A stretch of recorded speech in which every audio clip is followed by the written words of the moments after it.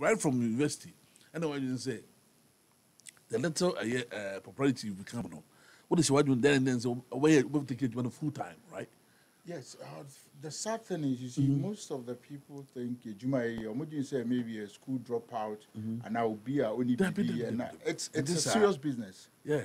Juma, and this job of acting has opened a lot of doors for us internationally, globally, and you know, it has made us meet certain people on a normal day.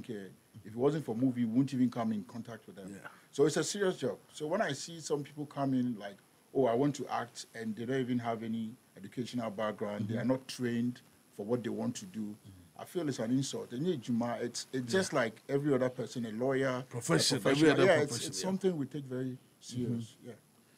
And uh, sometimes when we hear, movies, we understand. Even though who's nipa na they are not professionals.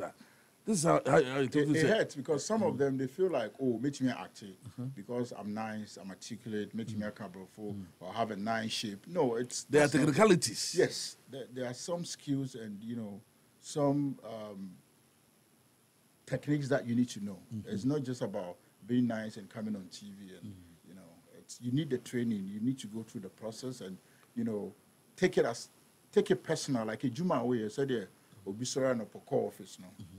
You know that's the approach, and that's how come some of us are still here. After all this year.